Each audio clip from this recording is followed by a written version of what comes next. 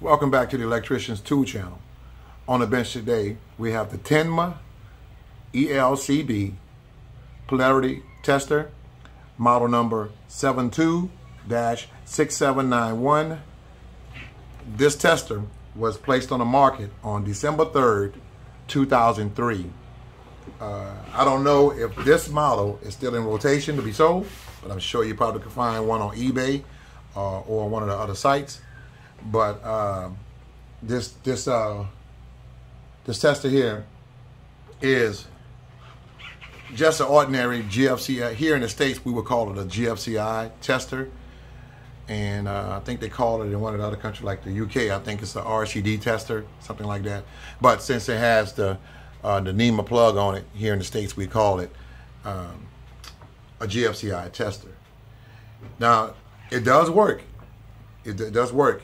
I use it around the house a lot because I have other testers that I take with me, uh, such as the Fluke, the Ideal, and other uh, Polarity GFCI testers and analyzers. I have all of those with me, so I have this one around the house, and it does work.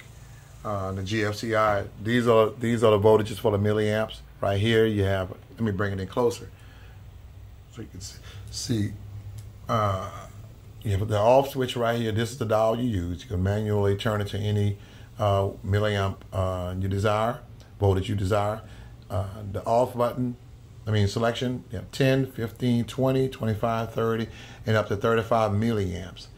Up here, it tells you, uh, you can see, if the lights light up, certain uh, two lights on this side is correct, so on and so forth. Same as a regular basic te tester that we use here in, in, in the States.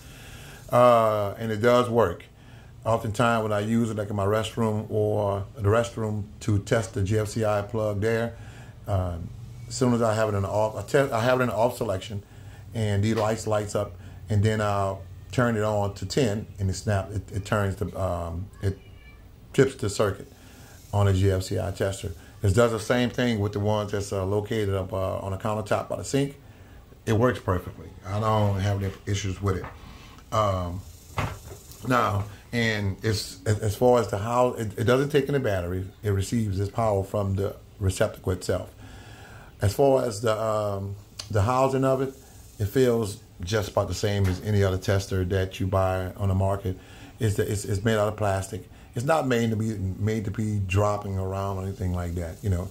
And uh, it's a really nice tester. So if you were to find one like this, uh, my recommendation you were to find one like this and you like how this look and how it works, um, you, know, I recommend that you get it.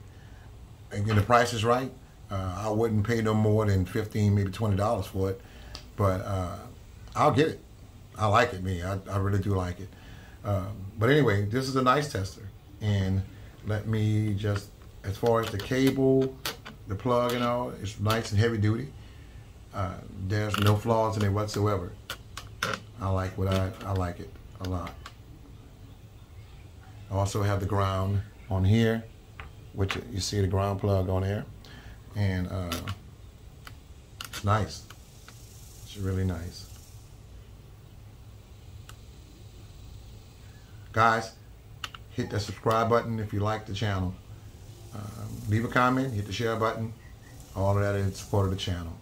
Uh, and stay tuned because there will be more videos coming and a lot more coming. So if you like what you see, you may want to hit that subscribe button. Thank, thank you guys for uh, whoever joined for supporting the channel. I really appreciate it. It's not about your money. It's just for the love of tools. That's all. And entertainment purposes as well as educational purposes for those who get something out of it. So guys, thank you. And we'll meet right back up here. You guys stay safe. And we'll meet back up here again at a later date to do more videos. Take care.